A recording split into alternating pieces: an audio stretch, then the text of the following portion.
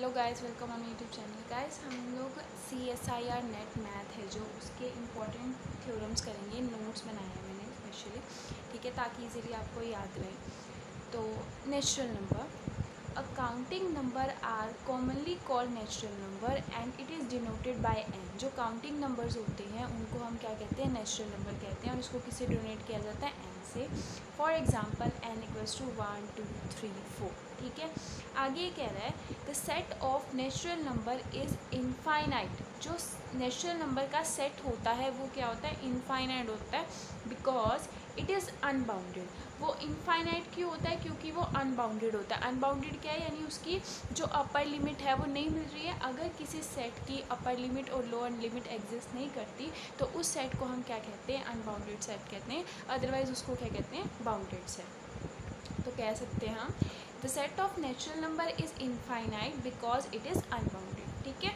Next है the set of natural number is countable because it's finite और countably infinite ये क्या कह रहा है? ध्यान से देखिए अभी से। ये कह रहा है the set of natural number जो नेचुरल नंबर का जो सेट होता है, वो क्या होता है? काउंटेबल होता है।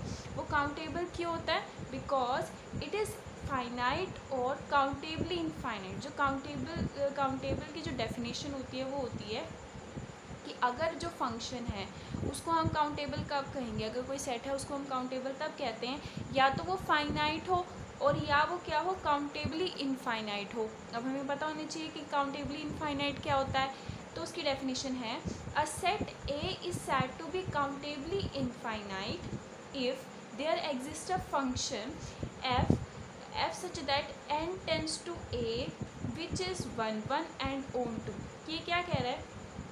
अगर कोई एक ऐसा ए को हम काउंटेबली इनफाइनाइट तब कहते हैं कि जब कोई ऐसा फ़ंक्शन एग्जिस्ट कर जाता है एन टू ए जो क्या हो वन वन हो और ओन टू हो, ठीक है? तो उसको हम क्या कहेंगे? काउंटेबली इनफाइनाइट कहेंगे। और इसको हम क्या कह सकते हैं? इसको वैसे भी कह सकते हैं कि N is similar to A कि N is similar to N कि मतलब वो ये कि अगर ये कंडीशन को सेटिस्फाई करता है ना तो इसलिए हम उसको क्या कहते हैं? कि वो काउंटेबल सेट है। और क्या कहते हैं कि जो ए है is similar to N A similar है एन के। नेक्स्ट है phi is subset of N जो फाइव है, वो एन का सबसेट होगा। क्यों होगा? Because empty set phi is a subset of every set जो एम टी सेट फाइव होता है, वो सारे के सारे सेट्स का क्या होता है? सबसेट होता है। इसीलिए जो फाइव है is a subset of natural number भी होगा। नेक्स्ट है एन इज़ इनफाइनाइट सेट जो एन है, जो एन है, वो क्या है? इनफाइनाइट सेट है. ठीक है? Then we can't denote the cardinality of N तो हम उसकी क्या है? कार्डिनलिटी ऑफ़ एन नहीं बता सकते. कार्डिनलिटी का मतलब होता है कि उसमें नंबर ऑफ़ एलिमेंट्स कितने हैं? Numerically so we introduce a new term aleph naught कि इसलिए हमने क्या किया? एक नंबर को क्या इंट्रोड्यूस करवाया? उसका क्या नाम दिया हमने? एलिफ नोट ट्रांसफाइनाइट नंबर या cardinal number to denote the cardinality of infinite set cardinality मतलब क्या होता है? Number of element in set की सेट में कितने नंबर ऑफ़ एलिमेंट्स हैं? And cardinality of N is equals to aleph naught की जो एन है सेट ऑफ़ नेचुरल नंबर है, उसकी कार्डिनलिटी क्या है? एलिफ नोट है. नेक्स्ट है aleph naught is the least trans transfinite number and next transfinite number is C कि जो एलिफ नोट है, वो सबसे छोटा ट्रांसफाइनाइट नंबर होता है. है? और जो उससे नेक्स्ट है, उससे थोड़ा सा बड़ा है, उसको हम क्या कहेंगे? C which is the continuum hypothesis ठीक है? नेक्स्ट है the set of all natural number isn't bounded above जो नेचुरल नंबर का जो सेट होता है, वो बाउंडेड अबव नहीं होता है, क्योंकि उसकी जो बाउंडेड है बाउंडनेस है, यानी अपर लिमिट उसकी एग्जिस्ट नहीं करती है, इसलिए वो बाउंडेड अबव नहीं होता है, यानी वो क्या होता है? अनबाउंडेड होता है। तो इसलिए कहते हैं हैंस एन इज़ इनफाइनाइट इसलिए जो एन है वो क्या होता है? इनफाइनाइट सेट कहते हैं एन को। ये वाला पॉइंट और ये वाला पॉइंट दोनों सेम है, पर ये क्या है? मतलब समझाया हुआ है सेम ही है दोनों। अलग अलग तरीके समझाया हुआ है।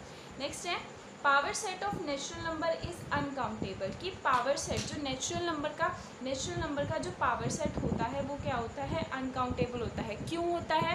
Because we know that if A is infinite set कि अगर ए कोई भी इनफाइनाइट सेट है then cardinality of A is aleph naught हमें पता है कि जो इनफाइनाइट सेट होता है, उसकी कार्डनलिटी क्या होती है? एलिक नोट होती है। तो इसलिए infinite set and cardinality of A is alignot and power set of A. Power set of A. कि cardinality of power set of A equal to two aleph naught equals to C होगा। तो ये क्या होगा? Uncountable ये क्या कह रहा है कि इनफाइनाइट कि इनफाइनाइट सेट जो है, वो क्या है? N is a infinite set और वो क्या है? काउंटेबल है। पर उसकी जो पावर सेट होगा कार्डिनलिटी ऑफ़ पावर सेट होगा, वो क्या होगा? अनकाउंटेबल होगा। यानी इन सेट तो हमारा क्या है? काउंटेबल है।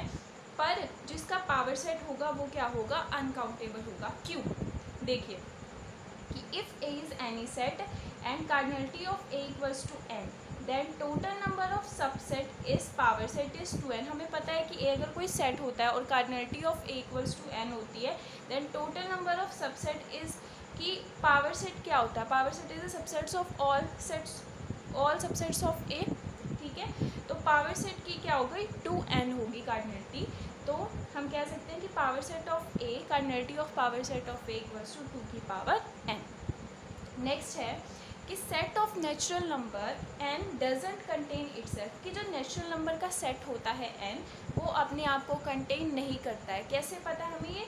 रशियल पैराडॉक्स की हेल्प से हमें पता है. वो हमें क्या कहता है? The set of all the set of all set is an the set कि सारे सेट्स का जो सेट होता है, वो अपने आप में सेट नहीं होता है। And the collection of all set is and the set कि सारे के सारे सेट्स की जो कलेक्शन होती है, वो भी सेट नहीं होता है।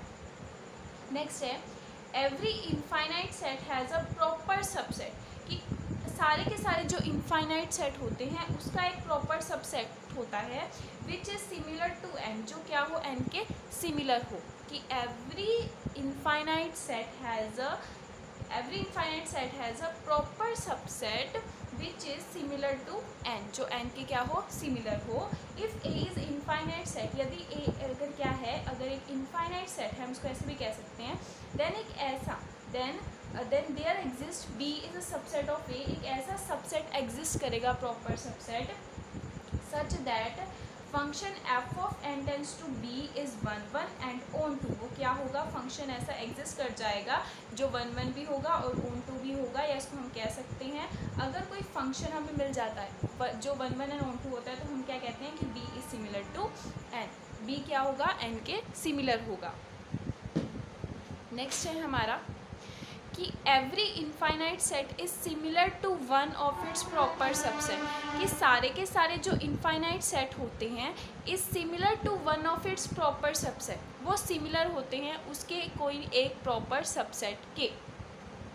इसको कैसे कह सकते हैं?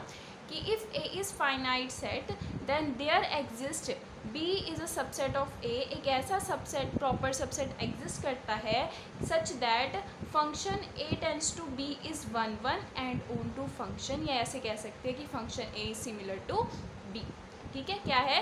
कि every infinite set is similar to one of its proper subset next है every subset of countable set is countable कि जो काउंटेबल सेट है उसके सारे के सारे सबसेट्स भी क्या होंगे? काउंटेबल होंगे।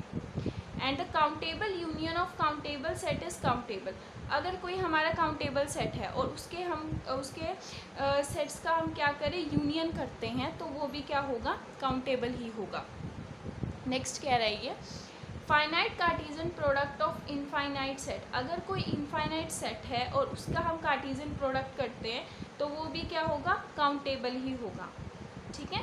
या नेक्स्ट है Cartesian product of N cross N is similar to N कि एन क्रॉस एन का कार्टिजन प्रोडक्ट क्या होगा? एन के सिमिलर होगा। अच्छा सिमिलर के लिए क्या कंडीशन थी? या तो वो फ़ंक्शन वन वन होना चाहिए। Function one one onto होगा तो हम उसको क्या कहेंगे? सिमिलर सेट कहेंगे। कि if A and B are any two empty set कि अगर ए और बी कोई सेट है then A and B are set to be similar तो ए और बी को सिमिलर हम तब कहेंगे if there exist a function f such that A tends to B which is one one and onto कोई ऐसा function exist कर जाए जो वन वन और ओन टू होगा तो उसको हम क्या कहेंगे? इट इज़ कि it is A similar to B की ए क्या है? सिमिलर है बी की. नेक्स्ट है. We know that cardinality of N equals to aleph naught हमने पीछे पढ़ा है कि नेचुरल नंबर की जो इनफाइनाइट सेट होते हैं, उसकी वो कार्डिनलिटी क्या होती है? एलिफ नोट होती है.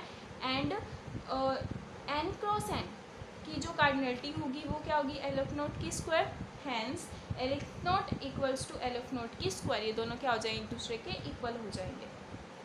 N is similar to Q जो एन होता है natural set of natural number होता है, वो किसके इक्वल होता है? क्यू के इक्वल होता है, ठीक है? और and cardinality of N and cardinality of Q are equals अगर ये दोनों सिमिलर होंगे तो वो क्या होगी? उनकी कार्डनलिटी भी क्या होगी? इक्वल होगी। और सिमिलर की हमने डेफिनेशन पता है कि अगर ए और बी कोई एम्प्टी सेट है और ए और बी को हम सिमिलर तब कहते हैं अगर कोई ऐसा फ़ंक्शन एग्जिस्ट कर जाए जो वन वन भी हो और ओन टू भी हो। ठीक है? और ये कह रहा है N is similar to Z जो एन होगा, वो सिमिलर होगा जेड के। And cardinality of N and cardinality of Z are equal तो इन दोनों की कार्डनलिटी भी क्या हो जाएगी? इक्वल हो जाएगी। ठीक है? इसलिए हम कह सकते हैं कि N is similar to Z N किसके सिमिलर है? जेड के। और Z is similar to N cross N कि एन क्रॉस एन के। और एन क्रॉस एन किसके सिमिलर है? एन क्रॉस जेड के। और ये किसके सिमिलर है? क्यू के। ये सारे के सारे इक्वल हैं, एक दूसरे के सिमिलर हैं। लास्ट पॉइंट है कि if A is a similar to N and B अगर ए सिमिलर है एन के और and B is similar to N अगर बी भी सिमिलर है एन के then A union B is similar to N तो ए यूनियन बी भी क्या होगा? सिमिलर होगा एन के. जैसे हमने दिखाया कि ए सिमिलर टू एन और B similar to N then A union B similar to N thank you so much guys ये गाइस ये इंपॉर्टेंट जो नोट्स हैं, उसके इंपॉर्टेंट जो पॉइंट्स हैं नोट लर्न करने वाले वो हैं ये। अगर आप इसे अच्छे से लर्न कर लेंगे तो आपके लिए बहुत हेल्पफुल होगा। अगर आपको पसंद आए तो चैनल को लाइक कीजिए सब्सक्राइब कीजिए। Thank you so much guys